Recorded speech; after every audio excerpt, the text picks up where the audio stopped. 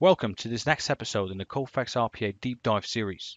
My name is Jesper Scherpenhuizen, and today I'd like to talk to you about Kofax RPA and the Google Cloud Natural Language Platform, and actually how to have your Kofax RPA robots to leverage the capabilities unlocked by the Google Cloud Natural Language Platform. In today's episode, I'd like to talk to you about how to do this. I'd like to show you how you can get your um, uh, your Google Cloud account set up, how you can get your API keys, and then how to leverage that in your Kofax RPA robots. Uh, there's a lot of things happening in, in this video series, um, and I'll make some um, some cross references to earlier videos as well. Um, but afterwards, if you've got any questions, please feel free to reach out to me uh, through the known channels. That being said, the episode of today is going to be threefold. I'm going to guide you through how to set up your Google account to get an API key. I'm going to show you how to then build a very simple robot uh, that does entity extraction uh, on any text that the, Go the Kofax RPA robot uh, got from anywhere and then submits it to the Google Cloud Natural Language Platform and gets the extracted entities back. After that, I'll show you how you can then incorporate this capability in a real well, well, real world use case that leverage the breadth of the capabilities in the Kofax Intelligent Automation platform, enriched by the Google Cloud Natural Language platform. And again, in this example, I'm going to use entity extraction, but any of the other capabilities or methods unlocked by this platform can be used by Kofax RPA robots. That being said, the first thing you'll need is, of course, a Kofax RPA installation. For those of you that don't have one yet, please feel free to go out to the kofax.com uh, website where you can be where you can immediately register for the free trial if you do that, you'll get a link uh, with, with where you can download the Kofax RPA installer, and you'll be emailed a free license as well. That's going to be valid for 12 months. It's a full uh, it's a full-fledged platform. No um, no features are missing in this trial. This is the exact platform you would get if you were to buy it as well. The other thing you would of course need is you'll need to have that API key that I mentioned before. So that API key actually, um, well, you can see it as, as the credential that you can use to uh, make yourself known to the Google platform. So in order for you to get that, uh, you'll need to go to cloud.google.com slash natural language with a dash in between. And as you can see, I'm already logged into my Google account. Uh, it might prompt you to do the same. And if you don't have one, please feel free to register as well. Um, if you don't go beyond 5,000 submissions to the platform a month, it's even free. So click go to console.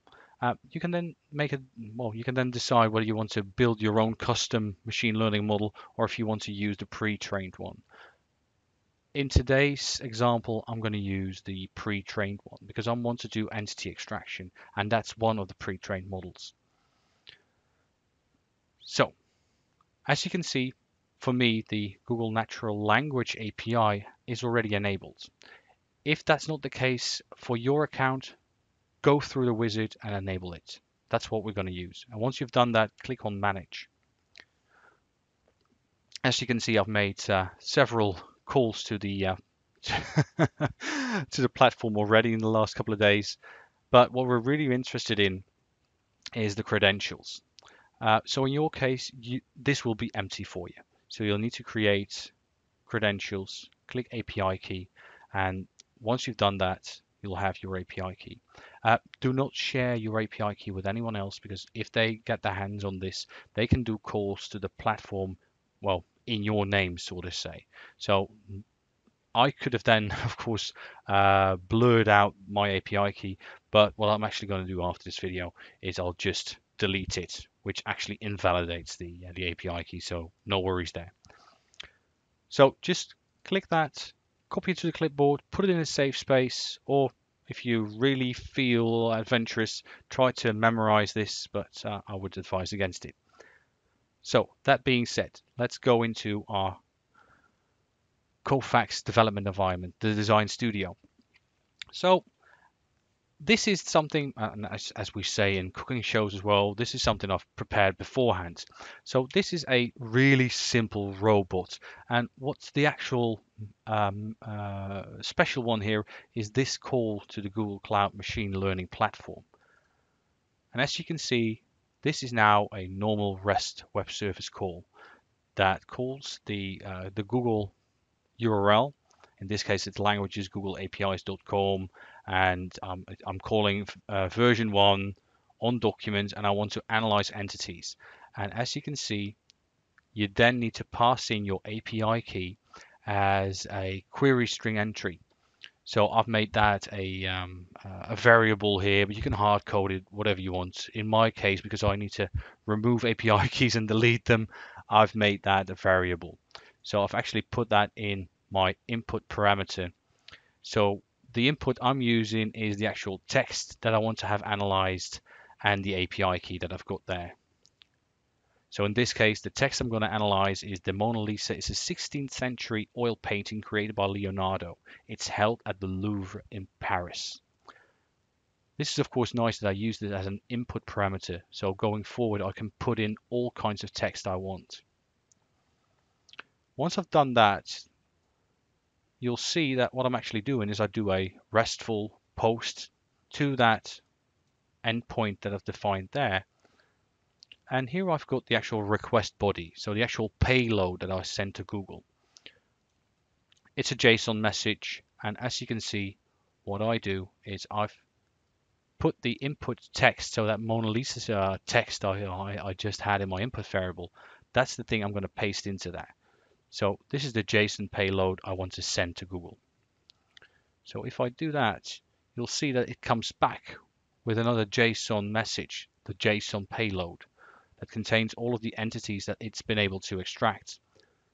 And as this is a normal JSON message, we can easily do all kinds of things with our uh, RPA robots. So what I want to do is I want to loop through all these entities and extract uh, the text, the type. So in this case, Mona Lisa is of course a person, uh, but it could also be, well, it's T1 Enterprises. Well, that's an organization, or it could be it's Paris, so it's going to be a location. The other thing I'm really interested in is the salience. I actually had to look up what that word meant, as I said in my uh, previous uh, video, but it's actually the let, let's call it the importance of that entity in that text. So the quality of being particularly noticeable or important, the prominence of that word or that entity. So in this case, Mona Lisa has got a salience of uh, 0.52. Ah, that's that's pretty good. You can also see the mentions, uh, in any additional metadata that you might have. Um, in this case, the Google uh, Cloud Natural Language Platform actually gives back the the Wikipedia URL, so you can immediately do something with that as well.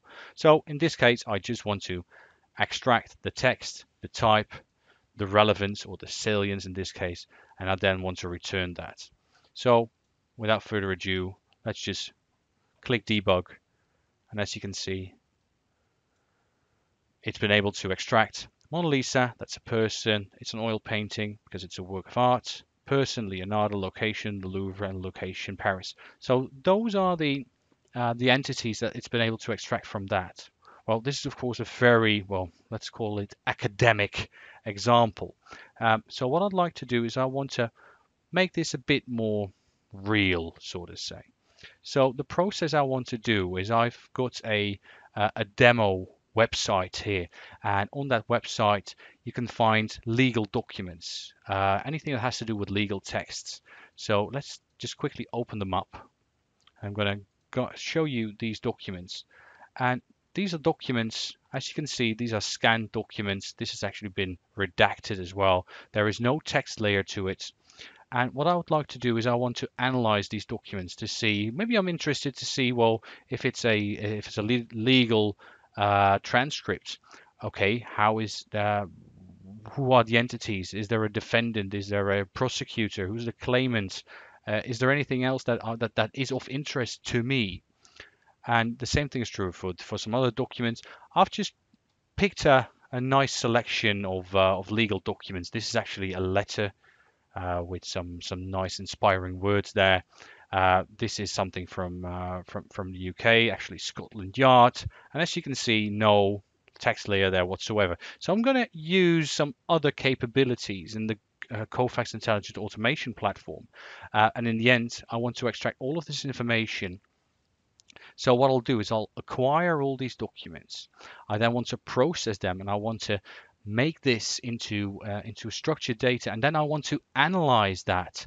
Uh, after that, I can actually, well, submit that to, to any other system you might want to have. So really nice to have that. So without further ado, and again, I've done this uh, beforehand. So here we have my robot. Let's let me quickly loop you through this document. So the first thing I do is I've of course, open up that web page, the web page we just looked at.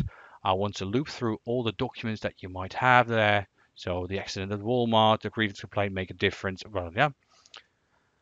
What I want to do because I don't have a system that I want to put this information into. So what I've done is I'm just going to write everything to a flat text file. But with the same ease, I could have put this in an Excel uh, document or I could have updated backend systems.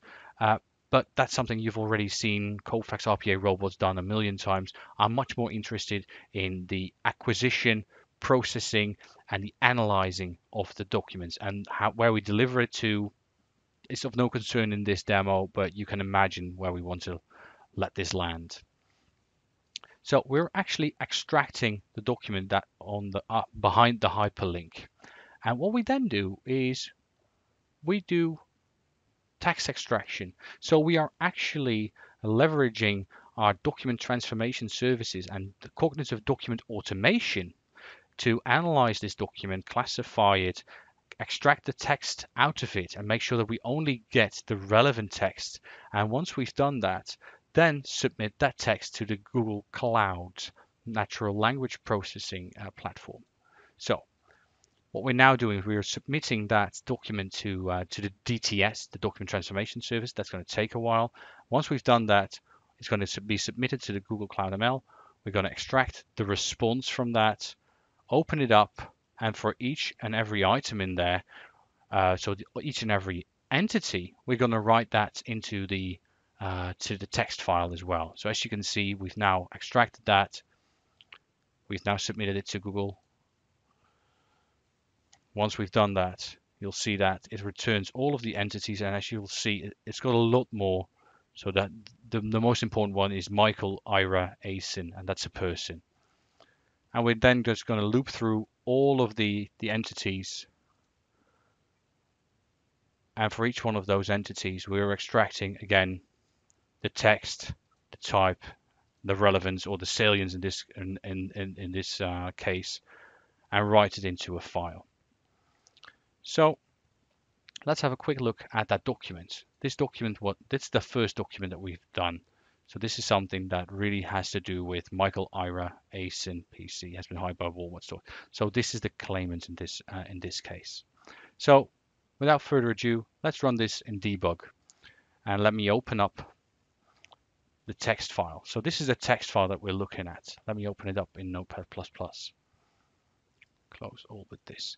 So right now it has written the accident at Walmart because that's the document that we're looking at. And if we then keep an eye on this, you'll see that it has submitted the first document uh, for text extraction to Kofax DTS, and it's now already done the second one. So if I switch back to Notepad++, it's going to give me the rest. So it's Michael Asen, it's a person. So in this case, I'm only writing um, the, um, uh, what's it called, the, uh, the actual well, entity name and the entity uh, type to this document. And it's now working on the grievance complaint. Oh, it's already the fourth document. So if I switch again and update it, you'll see that we now have the grievance complaint where Terry Crisp is the uh, most important person or important entity, I should say. Make a difference. Harry Redburn and the Scotland Yard response. Let's see. Oh, that's still being extracted. That was a that was a tough one, if I'm not mistaken. Oh, Here we go. Accident at Walmart, grievance complaint, make a difference, Scotland Yard, its web, solicitors, reference. All of these have been analyzed, and the last one is the complaint investigation, which is now being processed. Reload it, scroll down. Here you go. So again, this has been a real quick introduction on how to leverage the Google Cloud Natural Language Platform in your Kofax RPA robots. I've shown you, of course, where you can get Kofax RPA and where you can uh, request your free trial. I've guided you through how to set up your Google account so that you can indeed leverage uh, those capabilities and where to get your API key. I've shown you how to build a very small robot to actually prove that uh, integration between these two platforms. So Kofax RPA on the one hand and Google Cloud Natural Language Platform on the other. And after that, I've shown you an end-to-end process leveraging a lot of the Kofax intelligent automation capabilities, uh, where we uh, went through a, a, certain system to retrieve documents, uh, utilize Kofax cognitive document automation to extract the data from that document and then submitted that that and that that data to the Google Cloud Natural Language Platform and got the extracted entities and the types of entities and the salience back, and then of course deliver that to the backend systems. Well, this has been a 16 minute video. Hope you enjoyed it. And as I mentioned, if you've got any questions, please feel free to reach out to me. Uh, always willing to, to answer any questions you might have. Uh, that being said, have a good one. Cheers.